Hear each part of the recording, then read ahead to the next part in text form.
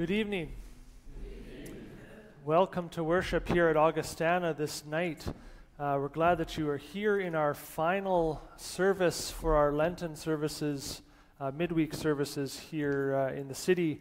Uh, it has been good to be together these last um, number of weeks.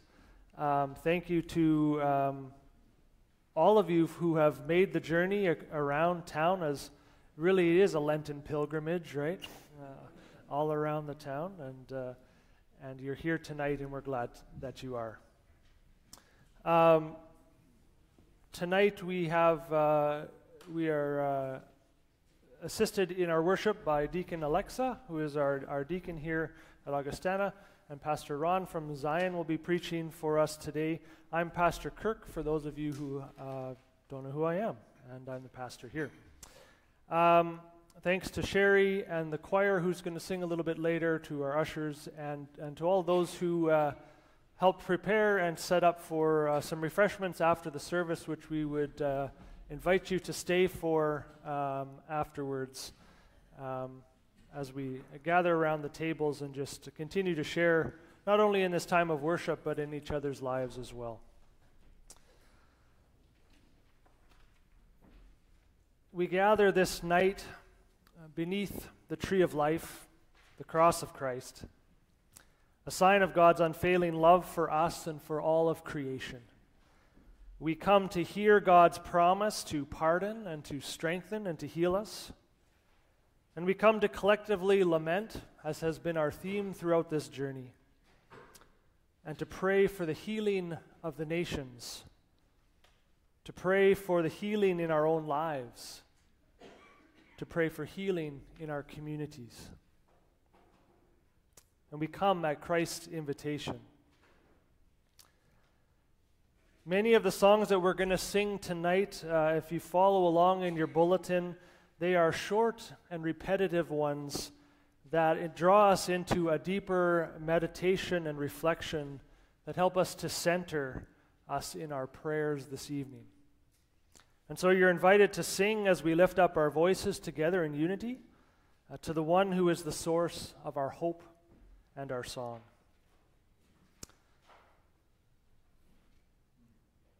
Let us pray.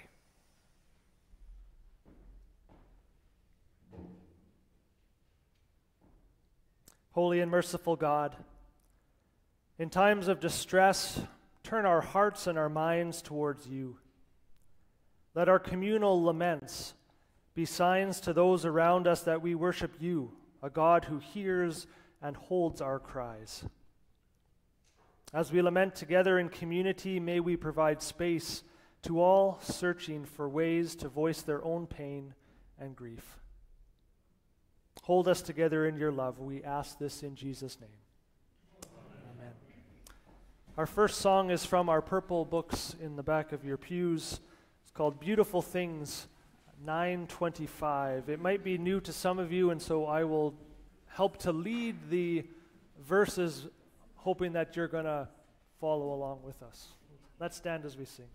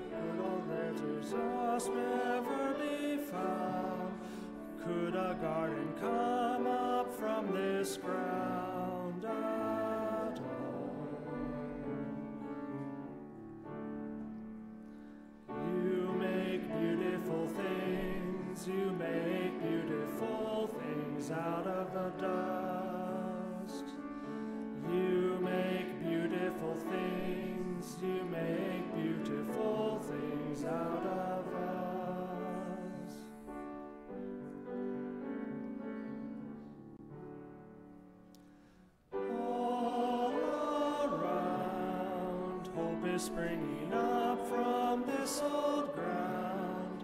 Out of chaos, life is being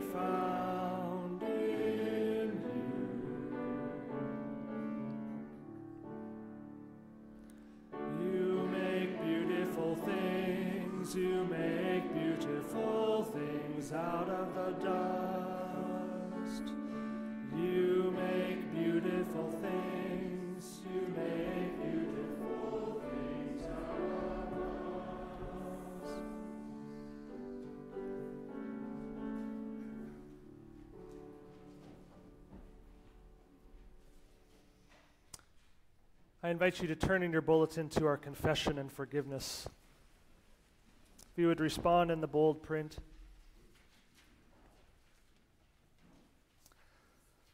Gracious God, we thank you for making one human family of all the peoples of the earth and for creating all the wonderful diversity of cultures. Enrich our lives by ever widening circles of fellowship and show us your presence in those who differ most. Give us when we unknowingly or unknowingly participate in the inherent systems of oppression that exist in our world. Teach us to be bold and forge a new path in the way of peace and love for all. Break down the walls that separate us and help us find that unity, the, the fruit of righteousness, and will enable us to become your beloved. Empower us to speak boldly for justice and for truth, and help us to deal with one another without hatred or bitterness working together for the mutual forbearance and respect.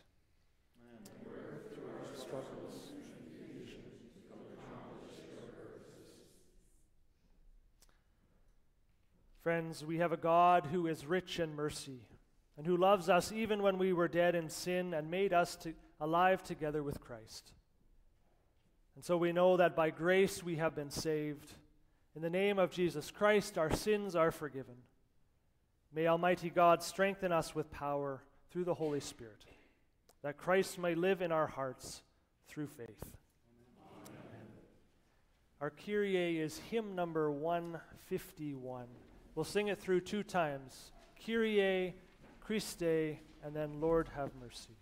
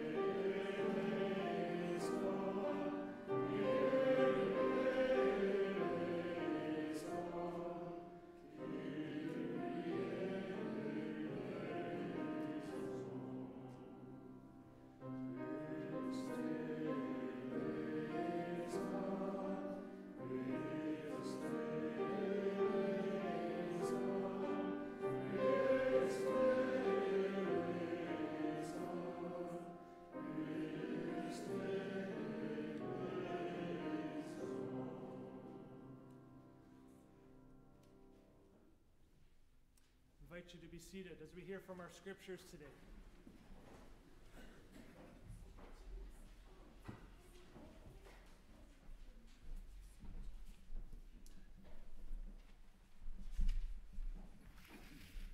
Uh, since we do not have this printed in the bulletin, if you go to page 338 at the beginning, add about 14 pages, you'll come to Psalm 44 in the Red Book because it's really nice to have you respond to what I'm reading. it is supposed to be a responsorial psalm. So, Psalm 44, in the first section of the book, you go up to the Psalms, which ends around 338 here, and then you go about 14 pages beyond. I'll wait.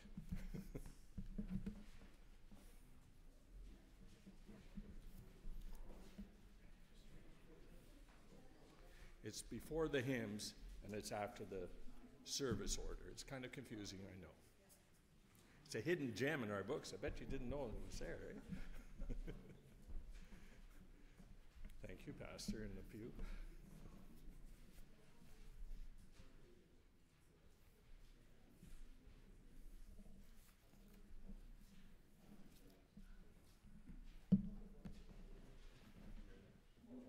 Good, I can use you.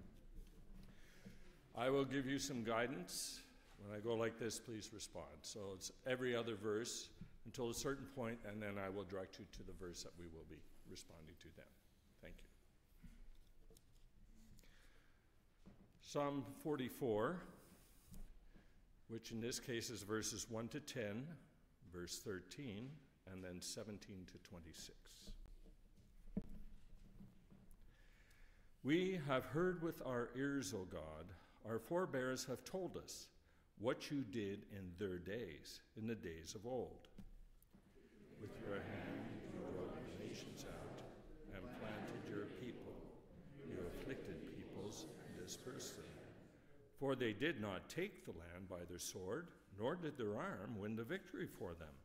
But your right hand, your arm, and the light of your face, because you favored them. You are my king and my God. You command victories for Jacob. Through you, we push back our adversaries. Through your name, we trampled on those who rose up against us. For I did not rely on my bow, and my sword does not give me victory. Surely you gave us victory over our adversaries and put those who hate us to shame. Every day we glory in God, and we will praise your name forever. Nevertheless, you have rejected and humbled us, and do not go forth with our armies. You have made us fall back before our adversary, and our enemies have plundered us. You, this is verse 13, you have made us the scorn of our neighbors, a mockery and derision to those around us. Now, verse 17 All this has come upon us, yet we have not forgotten you, nor have we betrayed your covenant. Our heart has not turned back, nor have our steps strayed from your path. Though you thrust us down into a place of misery and covered us over with deep darkness. If we have forgotten the name of our God or stretched out our hands to some strange God, Will not God find it out? For God knows the secrets of the heart. Indeed, for your sake we are being killed all day long. We are accounted as sheep for the slaughter. Awake, O Lord. Why are you sleeping? Rise, do not reject us forever. Why have you hidden your face and forgotten our affliction and oppression? We sink down into the dust our body cleaves to the ground. Rise up and help us and save us for the sake of your steadfast love.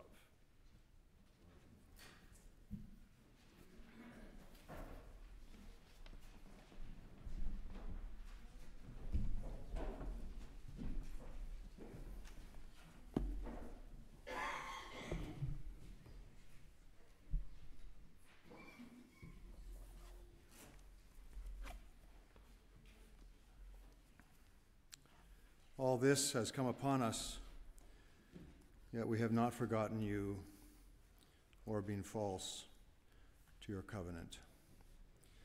Glory to the Father, and to the Son, and to the Holy Spirit, as it was in the beginning, is now, and ever shall be.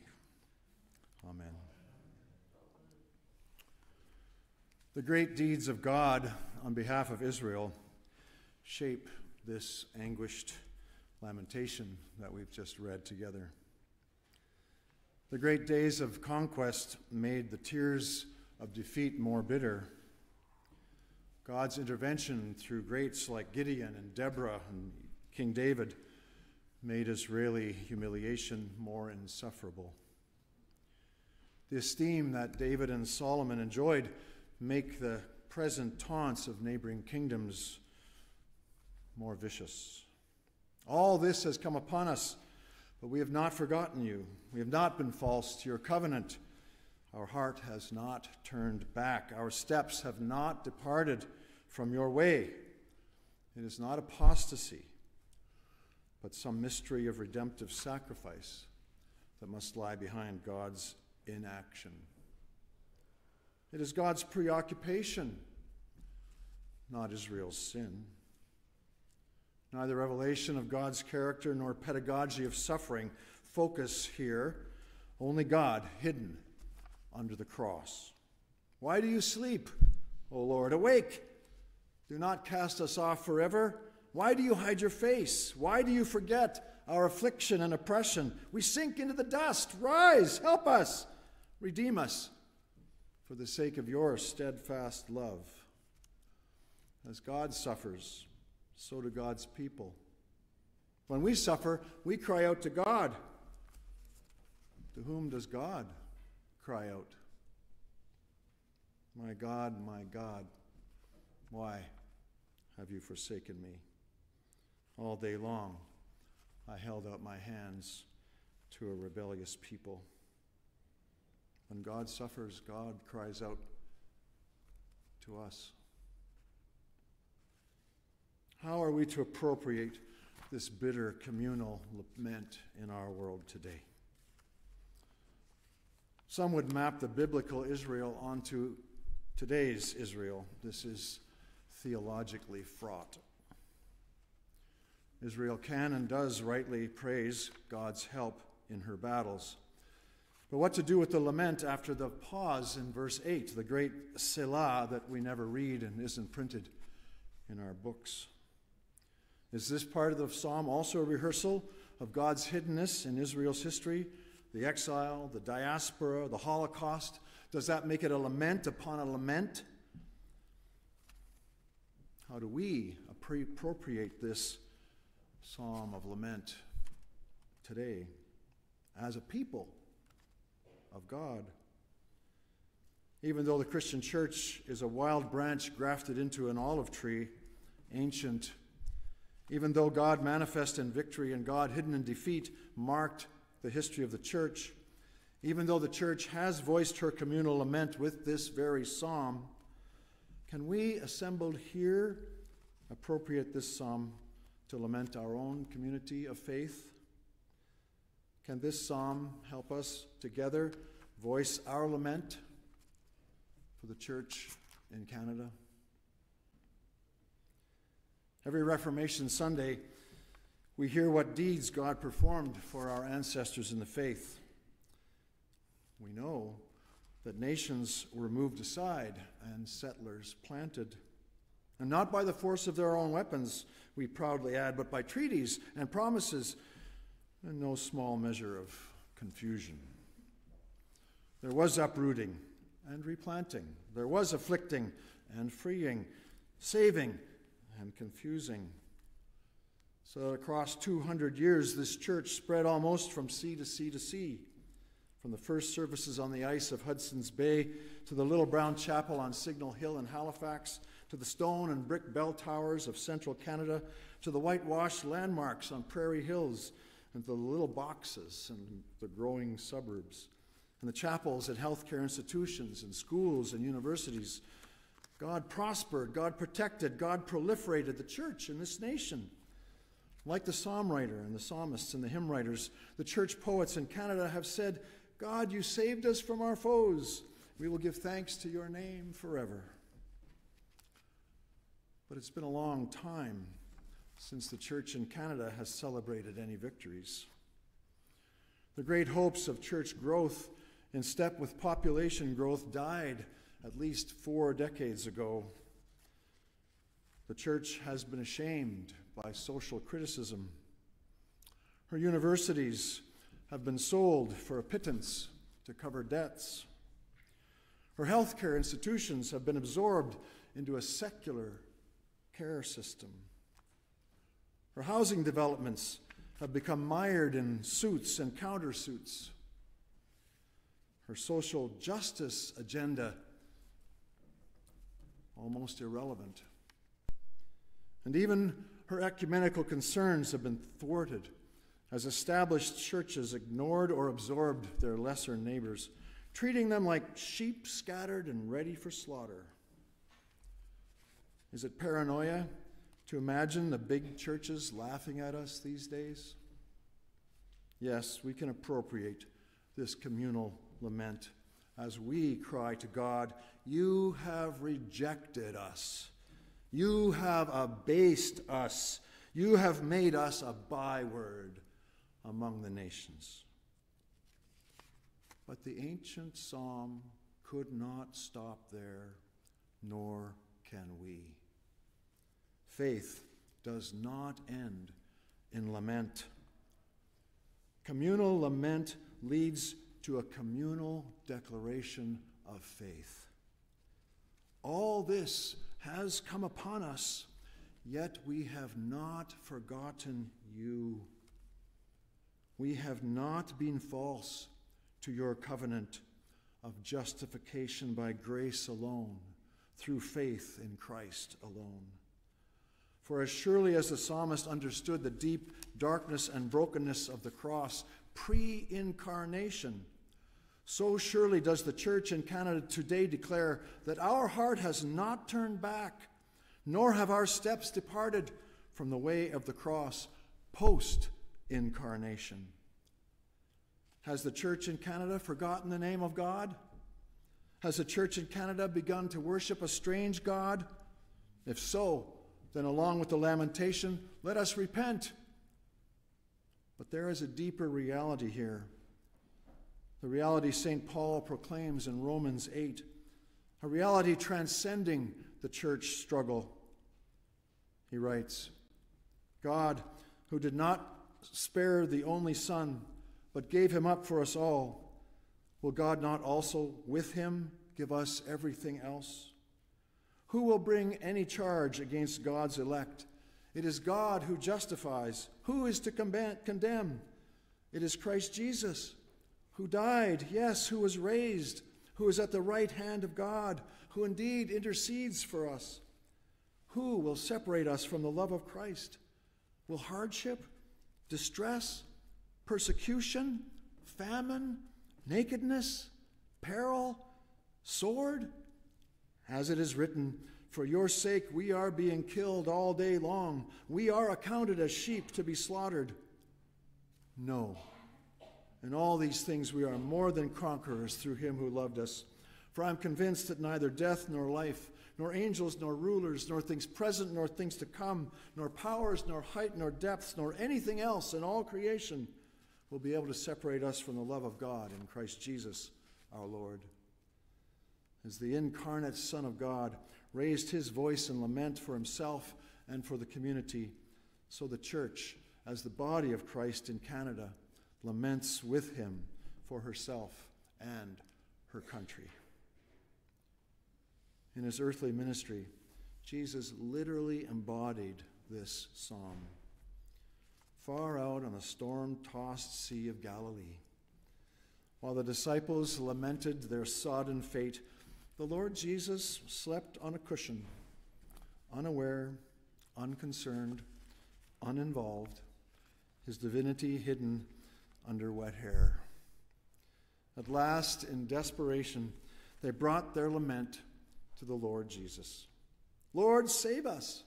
Redeem us for your own sake, according to your steadfast love. We have no guarantee except the Holy Spirit crying in our hearts, Abba, Father God. We have no guarantee that the Holy Spirit will rouse our Lord Jesus and calm the storms of our times to keep our little church afloat in this country. But at the very least, let us faithfully raise a communal lament. At the very least, let us rise up and remind God of our affliction and our oppression. At the very least, let us lament Oh God, why do you hide your face? Let us pray. Oh Lord, have you turned your face away from the church in Canada?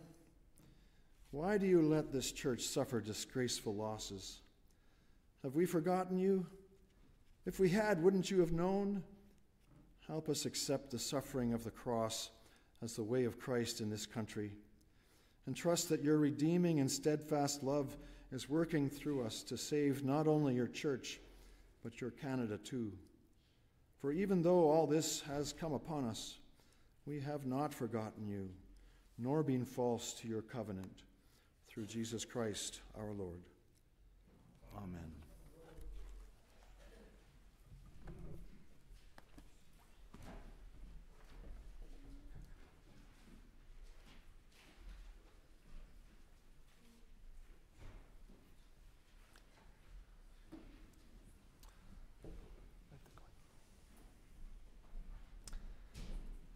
The choir comes and gathers to sing, I invite you to turn to uh, hymn number 1020 in your purple books. Uh, we will lead the first two uh, verses and then invite you to sing along with us in verses 3 and 4. You can remain seated.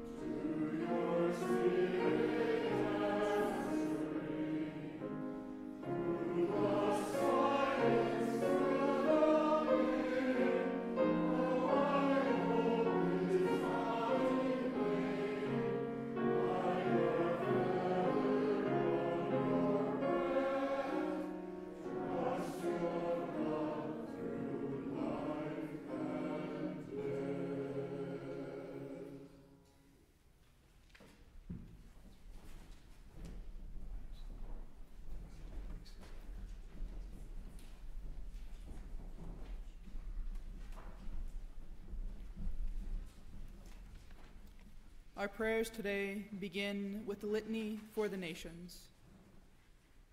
Let us hold before our God the nations of the world, asking for mercy and healing for those places and people torn by ancient animosities or terrorized by new fears, those devastated by drought, disaster, or disease, those crushed by poverty, oppression, or war, and those consumed and abused by power, wealth, or greed. May this act of solidarity bind us together and make us one in grace. As we sing the following hymns, you are invited to come as you are drawn, to light a candle from those already up here, placing your candle around the cross as a way to actively give our cares and concerns for our communities and our world up to God. You're welcome to stay up here and pray as long as you'd like, and those who wish to remain seated can participate by tracing the picture of the cross that you have in your bulletin as you offer your prayers to God. As we do this, we will lift our prayers in silence and in song. Just one hymn change. We will not be singing for the healing of creation, or healing of the nations, rather, but instead we'll begin this time of, of reflective song and prayer uh, with, with hymn number uh, 1041 in our purple books God is Love. 1041.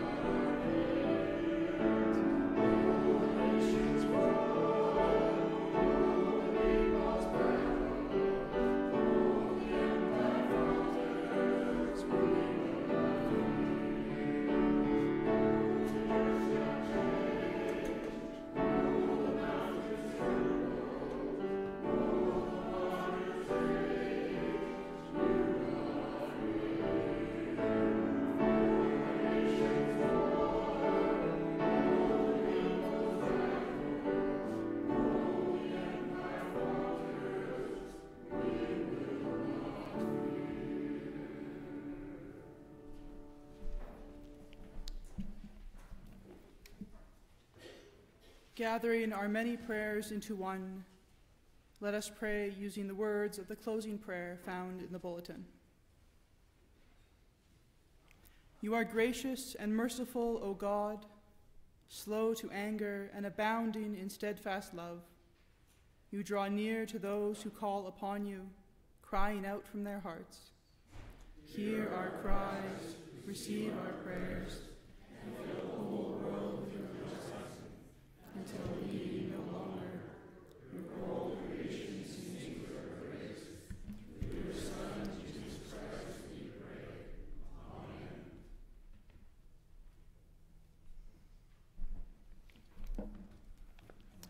Amen. My friends and siblings, the grace and peace of our Lord Jesus Christ, the love of God, and the communion of the Holy Spirit be with you all.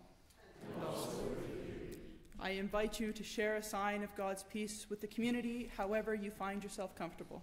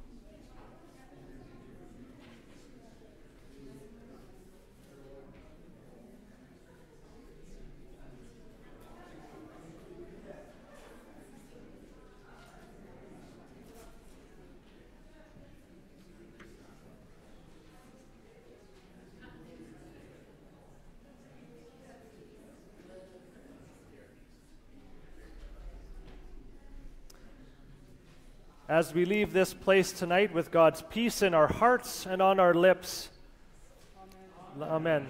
Let us be so.